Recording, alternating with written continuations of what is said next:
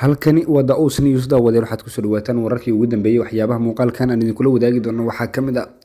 maxay tahay caqabadaha hortaagan ilaa iyo hadda imaanshiyaha soomaaliya ciidamada ajnabiga ah ee ka socda dalalka safka hore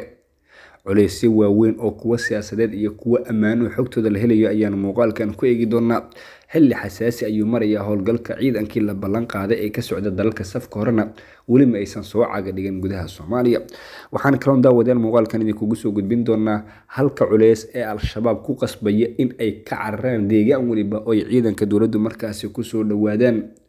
Diyaaradaha hawada ka saacidaya ciidanka dowladda oo qatyaan ay ka taagan yihiin kooxda al-shabaab xilli markaasi duqeymo lagu sii bacsanayo kooxda. Muuqaalkan waxaanu ku eegi doonaa la'aanta diyaaradahaasi sida xaalka ciidanka dowladda uu ahaan lahaa. Waxaan kaloon idiinsoo gudbin doonaa wararkii ugu dambeeyey ee ku saabsan duulaanka soconaya iyo halka ay xilligan wax marayaan. Intaana ku hormarin arinta ku saabsan ciidamada safka hore iyo imaanshiyahooda culeyska haysta marka hore aan eego wararkii ugu dambeeyey ee howlgallada soconaya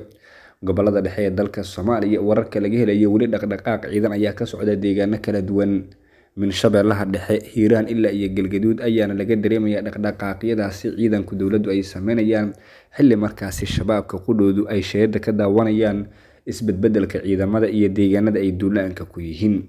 Kooxda shabaab qudhoodu kaalin ayay qaadanayaan oo deegaanada markaasi u arkaan ama ay fursado ka dhex arkaan ayay mar qora ku duulayaan wixii ay ka qaadan karana ka qaadanayaan. Deegaanadii ugu dambeeyey ee dib gacantooda u soo galayna budbud ayaa ka mid ahayd oo shalay markaas ay la wareegeen kadib markii ciidanka dowladdu ay halkaasi ka baxeen oo dagaal kooban halkaasi kula galeen dabley ka tirsan al-shabaab waxaa lagu soo waramaya hadda dhaqdhaqaaqa markaasi ciidanka dowladdu ay sameynayaan in al-shabaab uu ku qasbayo deegaanadii ay horey u joogeen mar waliba oo la soo hujuumo inay ka sii cararaan. Cararkooda ayay dadka markaasi arrimaha ciidamada ama jabhadiinta yaqaan waxay ku tilmaamayaan in aysan ahayn awood yari haysata al-shabaab laakiin cabsida haysata waxay tahay inay ka baxsanayaan beegsi inay u noqdaan diyaaradaha dusha ka saacidaya ciidanka efentriga ama kuwa dhulka markaasi ka dagaalamaya howlgalkan madaxweyne xasan sheekh maxamuud uu ku dhawaaqay bilo ka hor ayaa waxa uu markaasi xoogiisa guulaha la gaaray loo sababeynaya inay yihiin caawinta ciidanka dowladdu ay ka helayeen diyaaradaha duqeymaha fulinaya diyaaradaha dagaalka ee saaxiibada caalamiga ah ayaa sii wada weerarada iyo baacsiga kooxda al-shabaab ee dhanka cirka ah kuwaas oo ay ku taageerayaan ciidanka soomaalida. Diyaaradaha dagaalka oo dhanka hawada ka taageeraya ciidanka xoogga dalka iyo kuwa deegaanka ee howlgalka ka wada gobolka galgaduud ayaa sidoo kale lagu soo waramayaa inay duqeymo mararka qaar ka fuliyaan deegaanadaasi. Wararku waxay sheegayaan in diyaaradaha dagaalka ee dalalka mareykanka iyo turkiga maalmihii ugu dambeeyey ay duqeymihii ugu badnaa ka fuliyeen gobollada galgaduud iyo sidoo kale hiiraan diyaaradahan ayaa la sheegay inay beegsanayaan goob kasta oo la soo sheego in dhaqdhaqaaq ay ka wadaan koox ka tirsan al-shabaab xitaa marka ay noqoto dhanka gobollada koonfureed. Galgaduud oo kale dhulka miyiga iyo howdka oo ay ciidamadu markaasi ku baahayaan ayaa waxaa jira duqeymo si isdabajoog ahi markaasi looga fulinayo islamarkaana aanay warbaahintu markaasi sheegin xitaa tan dowladda soomaaliya. Ma soo hadal qaadin duqeymihii ugu dambeeyey ee waxyeelo lagu gaarsiiyey xitaa qaarkood raydahi weerarka cirka ayaa la sheegay inay markaasi xakameeyeen dhaqdhaqaaqyadii al-shabaab taasoo ciidamada fursad u siinaysa in ay markaasi si mug ay isugu fidiyaan dhulka la doonayo in laga sifeeyo kooxda al-shabaab.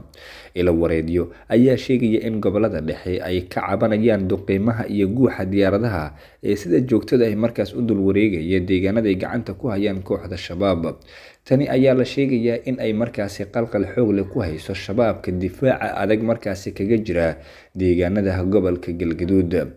waxaana markaas ciidamada dowladda federaalk soomaaliya inta aysan deegaan duulaan ku noqon waxaa markaasi u sii fura dhabaha diyaaradaha dagaalka oo iyagu baacsanaya al-shabaab. Mar ay duqeyn fuliyaan iyo mar ay soo gudbiyaan xogta dagaalamayaasha jooga deegaanka markaasi weerarka lagu yahay. La'aanta duqeymahan dowladda soomaaliya uma aysan suurageli lahayn dhulka baaxadda le inay qabsato maadaama sida la aaminsan yahay shabaab dagaalkooda uu yahay jabhadeen dowladduna aysan markaasi wax badan ka fahamsaneen nuuca dagaalka jabhadeynta haddii aanu eegno ilaa iyo hadda howlgalka inkastoo meel xasaasiya uu marayo shabaab la baacsanayo deegaanana dib ay ugu soo laabanayaan haddana dad badan waxay isweydiinayaan halkee ayay ku dambeeyeen ballanqaadkii hore loo sameeyey ee ahaa in ay howlgalladan door weyn ka qaadan doonaan ciidamo aan atmis ahayn laakiin ka socda dalalka jaarkahi dalalka deriska la ah dalkeena soomaaliya ee loo yaqaano kuwa safka hore ayaa horey u ballanqaaday inay ka qaybgalayaan wejiga labaad ee dagaalka ka dhanka al-shabaab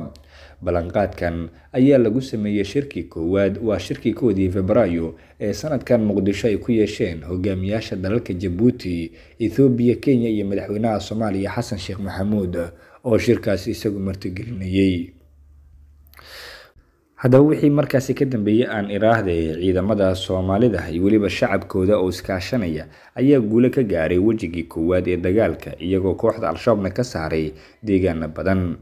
waxaa sidii la rabay aan u socon diyaargarowga wejiga labaad ee howlgalka markaasi la magac baxay libaaxa madow kaasoo ku wajahan deegaanada al-shabaab ay kaga sugan yihiin maamulada jubbaland iyo koonfur galbeed ee soomaaliya qorshuhuna uu ahaa inay qeyb ka noqdaan ciidamo ka socda dowladaha deriska ah ee soomaaliya. Dalalka deriska ah ayaan weli markaasi ka dhabeen ballanqaadkii ahaa in ciidamo ka madax banaan atmis ay u soo dirayaan soomaaliya dadka ammaanka falanqeeya ayaana sabab uga dhigaya culeys amni oo ka jira gudaha dalalkaasi qaarkood. Dalka ethoobiya oo kale dagaalo ayaa ka bilowda gobolka amxaarada kaasoo u dhexeeya ciidamada dowladda iyo jabhadda fano ee gobolka. Sidoo kale kenya waxaa haysta culeys amni oo dhanka gudaha ahi. Sidoo kale waxaa markaas la aaminsan yahay culeysyo siyaasadeed inay jiraan kasukuu caqabadaha ammaan. Waxaa kaleentoo la aaminsan yahay inuu jiro culeys siyaasadeed oo hortaagan inuu bilowdo wejiga labaad ee gulufka dagaal kaas oo markaas u baahan in marka hore ay ka heshiiyaan dowladaha soomaaliya iyo dowladaha safka hore ee uu qorshuhu yahay inay qeyb ka noqdaan howlgalka qaabka howlgalkaas uu dhacayo. Waxaa la sheegaa sidoo kale in soomaaliya iyo dalalka caawinayaba ay tahay in heshiis qoran oo siyaasadeed ay u bedelaan ballanqaadkii afka ahaa ee ay markaasi ballan qaadeen inay dagaalka wadajir u qaadayaan.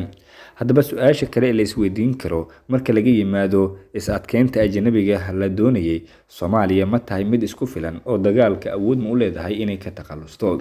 Saraakiil iyo aqoon-yahano dhanka howlgallada dagaalka ee soomaaliya ayaa waxa ay sheegayaan in soomaaliya ay ka go-an tahay in toddobaadyada dhow ay soo gabagabayso howlgalka wejigiisa koowaad islamarkaana ay horey ka bilaabi doonto wejiga labaad ee howlgalka ee ku wajahan xoreynta deegaanada koonfur galbeed iyo jubbaland haddii ay taageero ka hesho dowladaha safka hore iyo haddii ay ka weysa intuba oo uma joojin doonto. Dooda ku saabsan wejiga labaad ee dagaalka iyo ka qaybgalka dalalka safka hore ah ayaa xoogeysan doonta marka dowladda federaalk soomaaliya ay ku guuleysato soona afjarto wejiga koowaad taas oo weli aan dhicin balse madaxweyne xasan sheekh maxamuud uu darteeda saldhig uga samaystay magaalada dhuusamareeb ee caasimada galmudug. Haddana gabagaba uu ku dhow yahay howlgalka wejigiisa koowaad oo marka laga hadlayo galmudug shabaab awoodoodii ay sii nusqaameyso laakiin dhammaystirka howlgalkaas ajnabigii loo baahnaa ama ballanqaadka sameeyey. Koonfur galbeed iyo jubbaland dagaalka ka bilaaban doona doorka ay qaadan doonaan